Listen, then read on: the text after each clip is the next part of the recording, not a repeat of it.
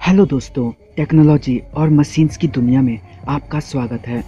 दोस्तों, आज मैं आपको ऐसे कमाल के फ्यूचरिस्टिक मशीन्स के बारे में बताऊँगा, जो जटिल से जटिल काम को भी मिनटों में ही ख़त्म कर देते हैं। तो चलिए वीडियो को स्टार्ट करते हैं।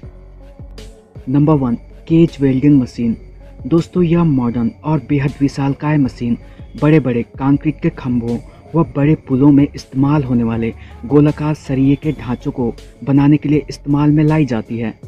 इस मशीन से ढांचे बनाने के लिए वर्कर सबसे पहले इस मशीन के सांचे में पतली लोहे के सरियों को फिट करते जाते हैं। उसके बाद मशीन को स्टार्ट करने पर यह मशीन अपना काम शुरू कर देता है।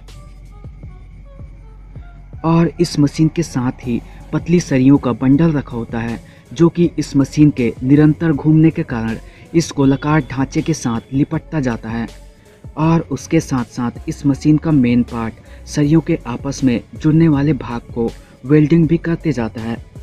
और कुछ ही समय में यह मशीन एक मज़बूत लोहे का ढांचा बनाकर रेडी कर देता है।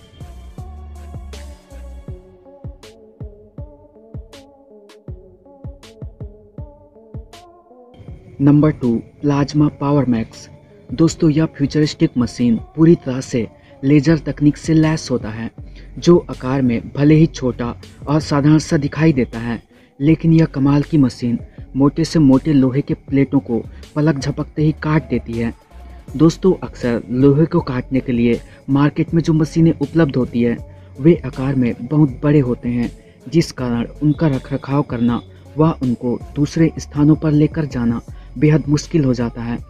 लेकिन इस छोटी सी मशीन को कहीं पर भी ले जाकर यूज़ कर सकते हैं, जिसके एक बटन को प्रेस करते ही बेहद पावरफुल लेजर की धार निकलती है, जो कि लोहे को मानो पतली लकड़ी के जैसे काट डालती है।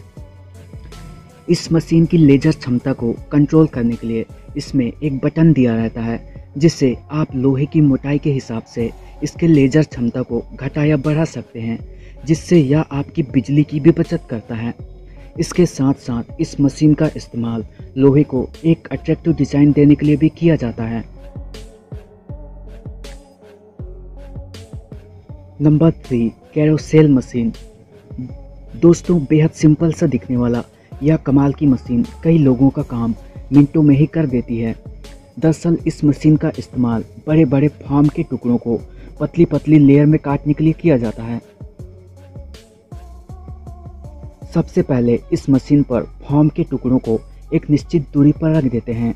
उसके बाद मशीन स्टार्ट होने पर यह पैनल गोल गोल घूमने लगता है, जिस कारण इस मशीन में लगे तेज, धारदार ब्लेड्स, ये सब फॉर्म के टुकड़े को निश्चित मोटाई में काटते जाते हैं। और इसी तरह से निश्चित मोटाई में काटने के लिए इस मशीन को सेट कर देते हैं और मशीन में लगा ब्लेड इन्हें बड़ी सफ़ाई से काटते जाता है। तो दोस्तों, आज के वीडियो में बस इतना ही।